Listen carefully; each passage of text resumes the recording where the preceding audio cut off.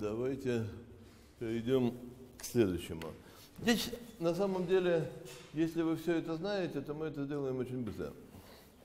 Значит, мутация и отбор – это такие факторы, без которых ничего не бывает, а, а три остальных факторов микроэволюции, до которых мы добираемся сейчас, значит, они такие необязательные. Но когда я говорю сказать, способ размножения, я имею в виду половое размножение, или ученые выражаясь амфимиксис, поскольку, э, так сказать, по умолчанию простейший вариант это бесполое размножение. А популяционная структура, значит, структура возрастная и пространственная, а половое размножение практически всегда сказать, наблюдается. А, ну, по крайней мере, у эукариот. Вот. Значит, а популяционная структура тоже какая-то всегда есть, хотя ее довольно часто можно без большого вреда для понимания игнорировать. И, наконец, э, даиф, э, его называют генетический даиф или случайный даиф или случайный генетический даиф, можно просто говорить даиф. Это такое отвратительное явление, которое лучше бы его не было, но оно всегда есть и практически во всех э, популяциях с реальной численностью оно оказывает принципиальное влияние на то, что там происходит. Так что эти три фактора тоже очень важны, хотя лишь мутация и отбор являются такими ну, неизбежными факторами. Без мутации и без отбора э, дарвиновской эволюции не будет. Ну вот давайте форму размножения. Значит, первое.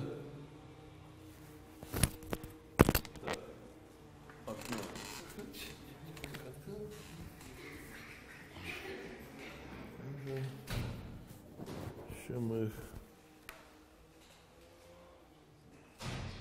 О, спасибо, так уже несколько лучше. Значит, а, тут есть одно замечательное свойство, на которое часто не обращают внимания. Но вот представьте себе, что вы слон. Тогда, да не важно, даже человек. А, начинать человека с одной клетки – это совершенно дикая идея. Казалось бы, вот захотела тетя умножаться, она такую почку выпускает, как гидра, и, значит, вырастает из нее такой ребенок, оторвался и побежал. Вместо этого а, практически вот это так делается, называется вегетативное размножение. И люди так делают. Знаете, когда, да? А? Люди так делают. Близнецы называются близнецы возникают ну, на ранней стадии, но там уже это много-много клеток. Вот.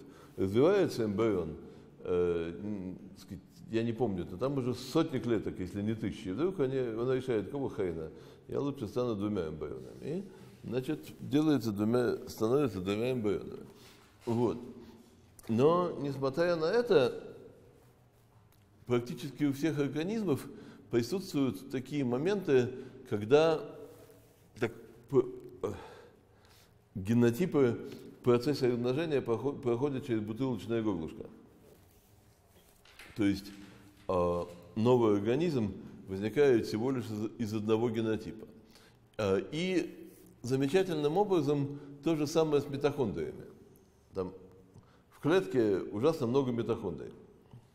Но если мы посмотрим, проследим э, сказать, истории митохондрий из поколения в поколение, там от мамы к дочке, они по, по материнской линии передаются, если мы проследим за историями митохондрий от мамы к дочке, то мы увидим, что в какой-то момент э, развития яйцеклетки э, имеет место очень глубокое бутылочное горлышко.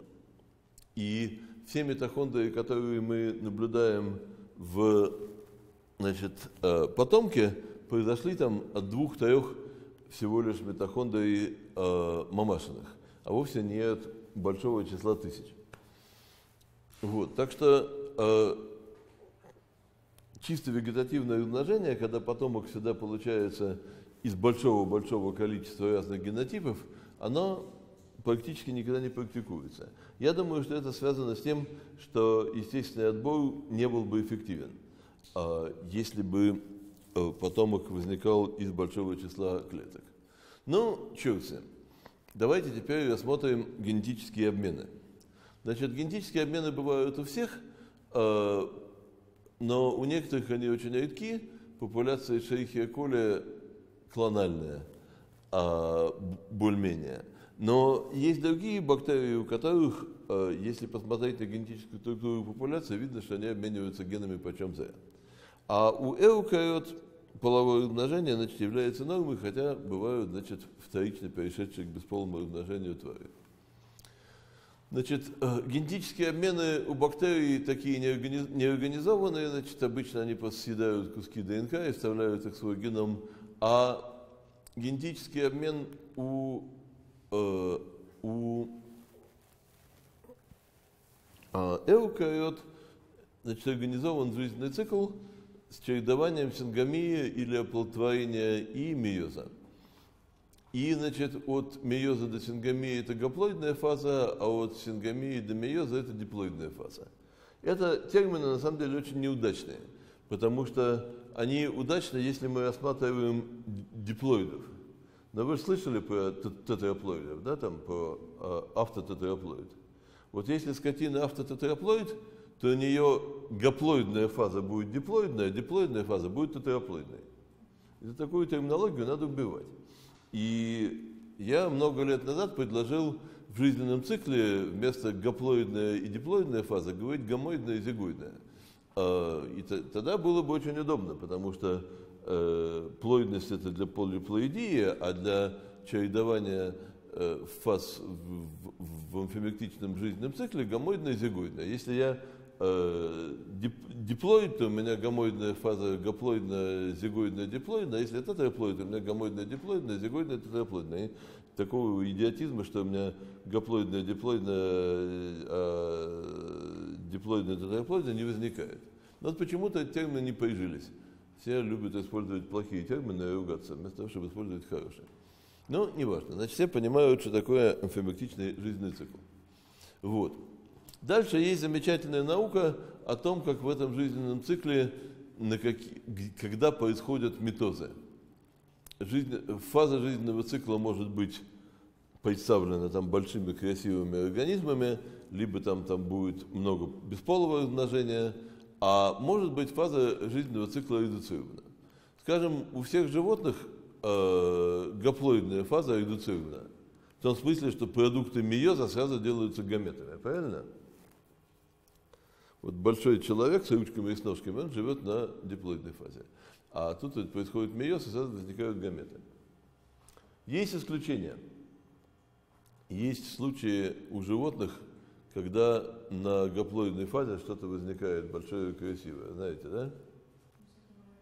Муравьи всякие, да. Семь раз возникала гаплоидность самцов всегда. А муравьи, палочники, клещи какие-то, жуки. Так что такое бывает. А вот у инфузорий, у, инфузорий, у которых конъюгация, э, гаплоидная фаза еще более жестоко редуцирована. У нее вообще даже свободных клеток не возникает. Э, конъюгируют диплоидные твари и обмениваются ядрами. А у харофитов и зигомицетов, наоборот, полностью редуцирована диплоидная фаза. То есть зигота сразу а, уходит в мейоз.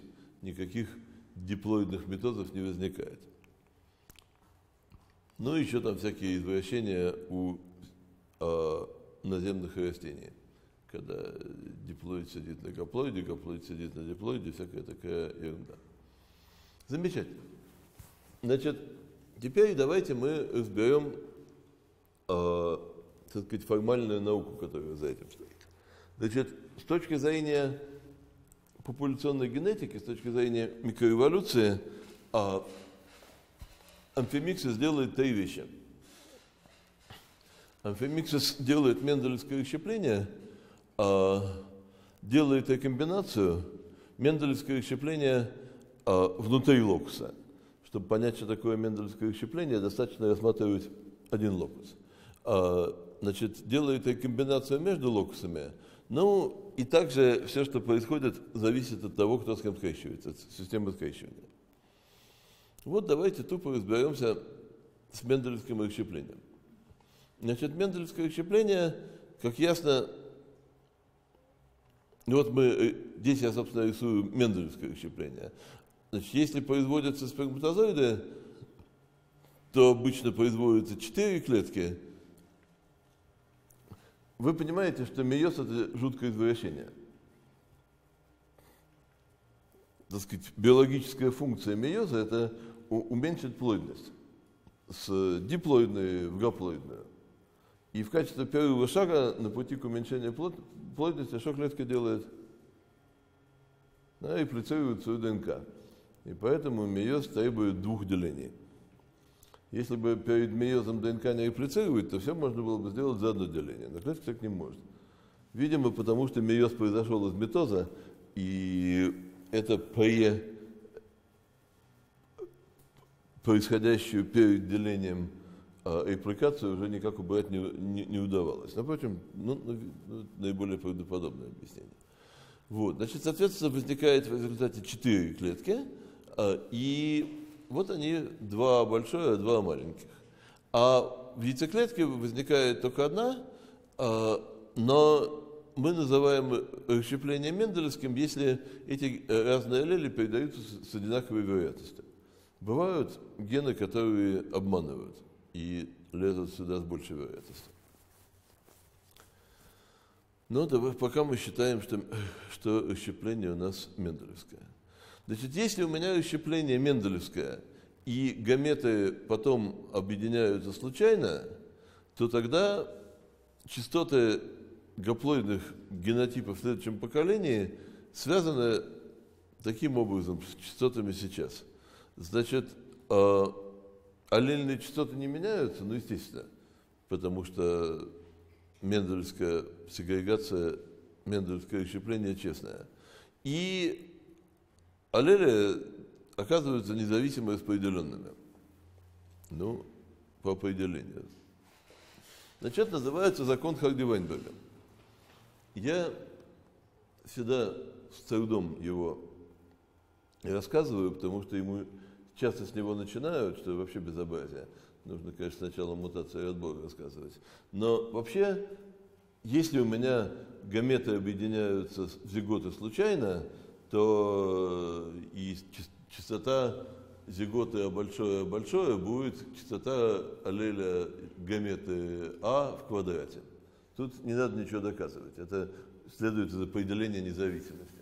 Единственное, надо понимать, откуда здесь берется двойка. Все понимают, откуда здесь берется двойка.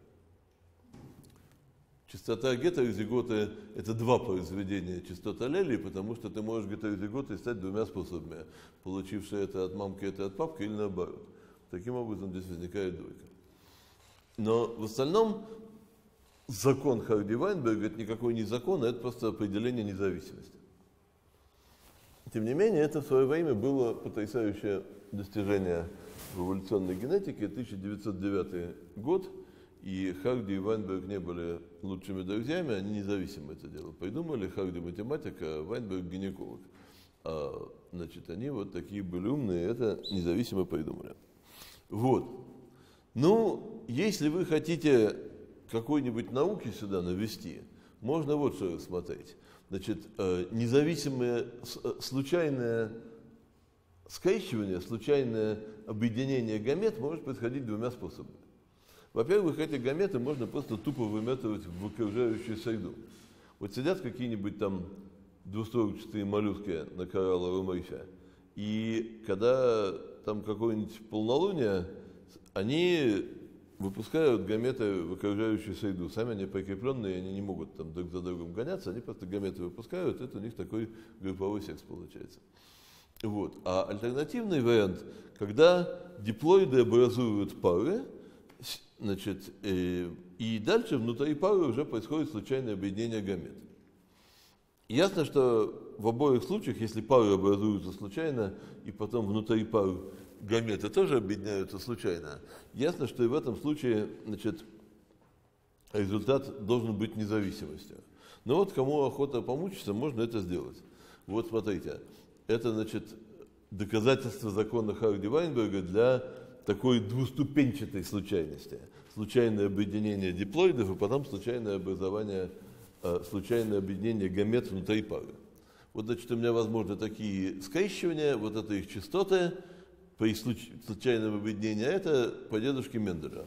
Скрещивание, скажем, а, а большого, а маленького с большим, а маленьким, у меня будет э, частота такого скрещивания, это будет квадрат частоты большого, а маленького генотипа, и в нем будет четверть одних гомозигот половина гетерозигот, четверть других гетерозигот.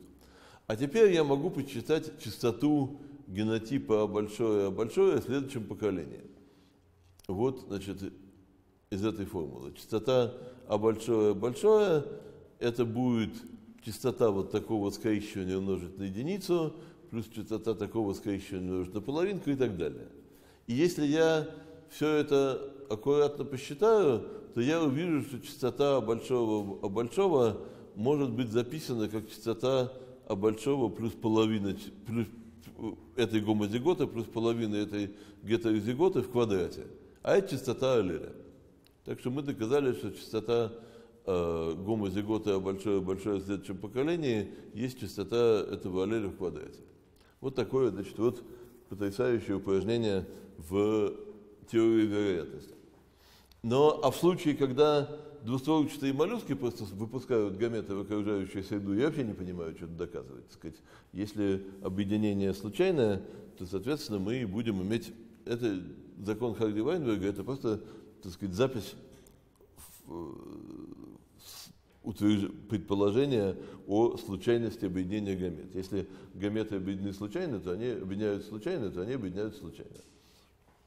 Ну вот такой, значит, замечательный результат. Вот. Хорошо. Значит, тем самым мы, э, да, а то, что частоты аллелей сохраняются, но опять-таки, если у меня мендельская сегрегация, то есть передача э, любой гаметы потомку осуществляется с одной и той же вероятностью, независимо от ее генотипа. Ну тогда с чего, бы, с чего бы частоты аллелей менялись? Значит, мы с вами разобрали великий и ужасный закон Харди Вайнберга. Так? Замечательно. Теперь более сложная задача э, рецепрокная миотическая рекомбинация. Что делает э, рецепрокная миотическая рекомбинация с частотами генотипов популяции? Значит, что, значит, рекомбинация может происходить за счет двух механизмов – за счет независимого расщепления хром, э, э, э, генов, которые сидят в разных хромосомах, и за счет кроссинговера. Здесь я рисую, что как бы они в одной хромосоме, у них кроссинговер, но пусть так, нам э, молекулярный механизм здесь, естественно, не важен. Значит, что такое комбинация? Это когда диплоид передает в свои продукты мейоза аллели не в той комбинации, не в тех комбинациях, в которых он сам получил из гамет значит, из которых он произошел. Значит, вот у меня нарисован такой диплоид. Ясно, что для того, чтобы рекомбинация имела генетические последствия, мне нужны два полиморфных локуса. А большое, а маленькое, Б большое, Б маленькое. Если у меня хоть один локус мономорфный, то рекомбинация никаких генетических последствий иметь не будет. Вот. И вводится понятие коэффициента комбинации. Это общая доля гамет, э, в которых значит, аллели оказались в новых сочетаниях. Значит, соответственно, э, я произведу А большое, Б большое и А маленькое, Б маленькое с частотами единицы минус R пополам, э, и А большое, Б маленькое, маленькое, Б большое с частотами пополам. Это означает, что у меня коэффициент комбинации между э, локусами А и Б равен R. Предположение, что я сам произошел из гамета большое Б большое, а маленькое Б маленькое. Хорошо? Вот. А теперь я хочу... Да, это всякая биологическая достоевщина. Значит, есть такой муравей, у которого всего одна хромосома, и у аскариды одна хромосома. Значит, если вы такой муравей, причем самец, то у вас весь ваш геном сидит на одной хромосоме, поскольку вы еще и гаплоидный. И очень часто бывает, что а, один, не очень часто, но достаточно часто, таких случаев больше 30 и известно, когда у одного из полов коксинговый полностью подавлен. Причем это практически всегда гетерогометный пол. Вот у мух определение пола как у млекопитающих, то есть самки гомогаметные, самцы гетерогаметные. И у самцов дрозофил рекомбинации обычно нет. А у бабочек, как у птиц, самки э, гетерогаметные, самцы гомогаметные. И у бабочек, э, у бабочек нет рекомбинации у самок. И это очень важно, потому что э, на вопрос, зачем нужна рекомбинация, э, глупые молекулярные биологи часто говорят, ну как же рекомбинация нужна для спаривания хромосом, хромосом в мейозе. Это чепуха, потому что у самца дрозофила меланогастра мейоз отлично идет, а комбинации никакой у него нет. То есть там возникают эти холидеевские структуры, и, но только они разрешаются так, что никакой комбинации фланговых маркеров не происходит. Вот. Э, а такого, чтобы комбинация была потеряна у обоих полов, такого неизвестно. Значит, и есть такой закон природы, что, рекомбина... что рекомбинация обычно происходит а, примерно один кроссовер на хромосому. И, соответственно, у каких-нибудь дрожжей, у которых хромосома длиной всего миллион, а частота рекомбинации на нуклеотид, то есть вероятность того, что кроссинговый произойдет между двумя соседними нуклеотидами, она примерно в сто раз больше, чем у человека, потому что дрожжевая хромосома длиной миллиона, человеческая 100 миллионов. Значит, на нуклеотид у дрожжи 10 минус 6 скорость рекомбинации, у нас 10 минус 8. Почему, тоже никто не знает. И рекомбинация происходит с большей частотой посредине хромосомных плеч. Это мы уже обсуждали. А около центромера и около теломера рекомбинации меньше. Вот. А теперь я хочу доказать великую ужасную теорему. А вот о чем. Значит, D – это полюбившийся нам коэффициентное равновесие поступления, а, который, значит, все помнят, как он выглядит – характеризующий меру зависимости распределения аллелей в двух локусах. И если у меня прошло одно поколение полового размножения, значит, без отбора и без мутации, то в результате у меня коэффициент неравновесия по сцеплению э, уменьшается в единице минус э, скорость рекомбинации раз. Вот такая вот очень важная теорема. И а, важность этой теоремы заключается в том, что здесь наблюдается качественное отличие от Харди Вайнберга. Потому что независимость распределения аллелей внутри локуса устанавливается за одно поколение. А вот у меня там может быть что угодно, например, у меня вся популяция состоит только из гетерозигот. Раз они у меня случайно между собой поскрещивались, и у меня получится четверть А большое, А большое, половина А большое, А малое, и четверть А малое, А малое. Или у меня популяция состоит из половины одних гомозигот, половины других.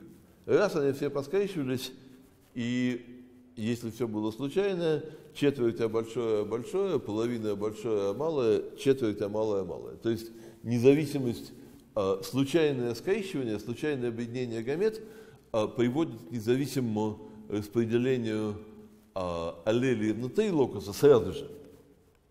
А здесь стремление к независимости только асимптотическое. Посмотрите сюда. В случае свободной комбинации, вот на этой вот картинке, что такое свободная комбинация? Это когда Гаметы ничего не помнят о том, э, из каких гамет был сделан этот диплоид, который их производит. То есть частоты всех этих четырех будут по одной четверти. Значит, у меня свободная комбинация, когда эти аллели передают, э, когда аллели в этих локусах передаются независимо друг от друга в гаметы. Э, это соответствует значению коэффициента R половина, а не единица. То есть даже при свободной комбинации в соответствии с этой потрясающей теоремой а, происходит лишь уполовинивание, отклонение от независимости. В то время как внутри локуса, в соответствии с законом Карда Вайнберга, все отклонения от независимости сразу пропадают. А между локусами, а, даже при свободной комбинации, они только уменьшаются вдвое за одно поколение, но, не пропадают полностью. А поэтому эта эпохальная теорема очень важна особенно, так сказать, вот в сочетании с законом Харди Вайнберга. Мы сейчас доказывать не будем, она совершенно тривиальная. А, но, значит, э, требует трех минут напряженного внимания, чтобы понять, что за ерунда здесь написано.